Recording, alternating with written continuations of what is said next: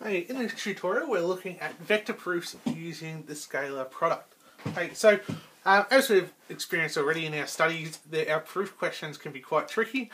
Um, these are no exceptions for these ones. They can be a bit hard to get your head around at times, but uh, outside of maybe a question on the SAC, you won't get proof questions like these on exams at all. So um, you need to get your head around them for those uh, proof type questions on SAC, but otherwise don't stress too much about them. So to start off with, we're just going over and defining some different shapes, okay, and their properties. So a quadrilateral is a plane four-sided figure with no two sides necessarily parallel nor equal in length. So it looks something like that. For our trapeziums, we've got a plane four-sided shape with one pair of sides parallel but not equal. So we see our trapezium there. And for trapeziums, um, for the trapezium ABCD, since A and B so AB is parallel to DC, then uh, vector AB is equal to lambda DC. So it's just uh, some constant uh, or scalar value lambda, okay, that, multi that you multiply DC by to get AB. So nothing too crazy there. Okay, for a parallelogram, a four-sided shape with two sets of parallel sides equal in length. Okay, so you can see a parallelogram here. So that means that vector AB is going to equal DC and that vector AD is going to equal vector BC. For rectangles, so a rectangle is a parallelogram with all angles 90 degrees. So uh, that means again that AB equals DC and AD equals BC, but because we're angles are 90 degrees, we can also say that AB dot BC is going to be 0 because they're parallel, uh, perpendicular. Uh, BC uh, dot CD is also going to equal 0 uh, CD.DA is going to equal 0 and DA.AB is going to equal 0. Basically because they're all uh, perpendicular to each other. A rhombus, so a rhombus is a parallelogram with all sides equal. Okay, so we're saying that AB and BC, sorry, AB equals uh, DC, sorry, AB equals DC, sorry, AD equals BC, and all their magnitudes are the same. So um, magnitude AB is going to be the same as the magnitude of BC, which is the same as the magnitude of CD and um, AD. Right, so we'll keep moving. So square, so square is a rhombus with all angles 90 degrees. So all our sides are equal and they're all equal, uh, all perpendicular. So AB equals DC, AD equals BC, AB.BC is going to equal 0, BC.CD equals 0, CD.DA equals 0, and DA.AB equals 0. So that's basically each pair of our sides that have a corner in common are perpendicular to each other, so the dot product is going to equal 0. And as you can see, all our magnitudes of our side lengths are the same as well. Uh, for triangles, so a median of a triangle is a line segment from a vertex to the midpoint of the opposite side. So for example here, Okay, this would be a median, this would be a median, and this would be a median. Okay, the centroid of a triangle is a point of intersection of the three medians. Okay, so where they all intersect is called the centroid. Okay, in this example it's labelled G. So G is the centroid of a triangle ABC, and O is the origin. So our origin could be anywhere. Our origin could be over here, could be over here, could be over here. It's, the origin isn't one of our corners necessarily. Okay, then the distance from the origin to G is equal to a third of the distance from the origin to A, okay, plus O to B plus O to C.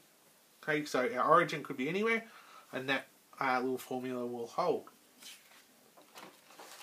Okay, so using vectors to prove geometric, uh, geometrical theorems. Okay, so here's a few things that we've learnt uh, along the way that can be quite helpful for our uh, geometric proofs. So if O is the origin and A and B are points, the midpoint M of the line segment AB, okay, so if we've got, we did this one a while ago, so this is A, this is B, this is M, okay, and we've got the origin, say over here.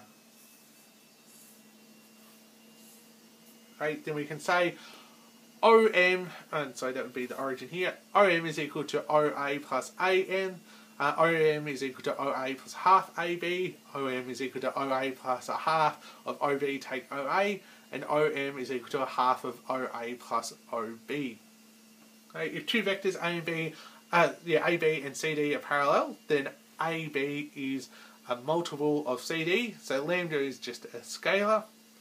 If two vectors A, B, and CD are perpendicular, then the dot product of those two vectors will equal zero.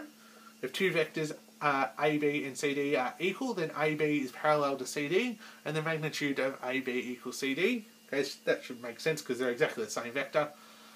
If AB is a multiple of BC, then the points A, B, and C are collinear. So that's, that is a line, a straight line. So all of these things we've seen at various points so far in this chapter. Okay, so we'll have a look at with example 18, which is the only one that we've got to look at. Okay, so we're going to prove that if the diagonals of a parallelogram are perpendicular, then the parallelogram is a rhombus. Okay, so let's just draw a little picture for ourselves.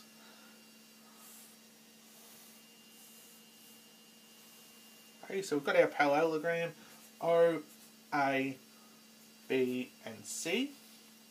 Okay, we know we're going to call OA A, and we're going to call OC C, and then we've got our diagonals here, and we're going to say that these meet at right angles. Okay, because OABC is a parallelogram, okay, well we can say that uh, A is equal to our OA, which is equal to our CB as well. Okay, and we can say that C is equal to OC, which is also equal to AB. So just setting up some definitions here. Okay, um, so we're going to find a vector expression for the diagonal OB in terms of AC. So can say that OB is equal to OA plus AB, okay, which is uh, the same as OA plus OC, okay, which is equal to A plus C. That's our diagonal there is equal to A plus C. Okay, if we look at our diagonal from A to C, so we say AC is equal to AO plus OC which is equal to OC minus OA, which is equal to our C minus our A. That's this diagonal, okay, from A to C. Okay, so the dot product of the diagonals is zero. So we know that uh, OB, sorry, OB dot AC, okay, uh, which is equal to our A plus C dot C take A, we know that's going to equal 0.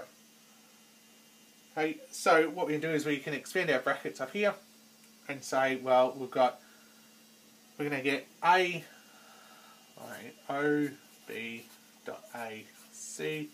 Well, we're going to get our A dot A, and get an A dot A and we're going to get a C dot A and we're going to get a minus A dot C and C dot C.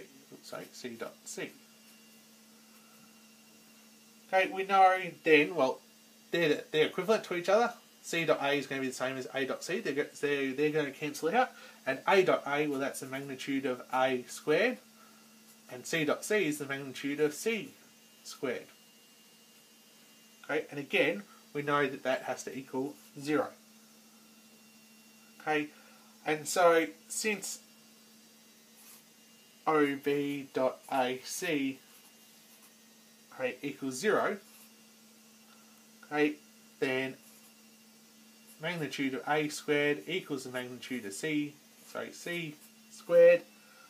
Okay, so the magnitude of OA equals the magnitude of OC.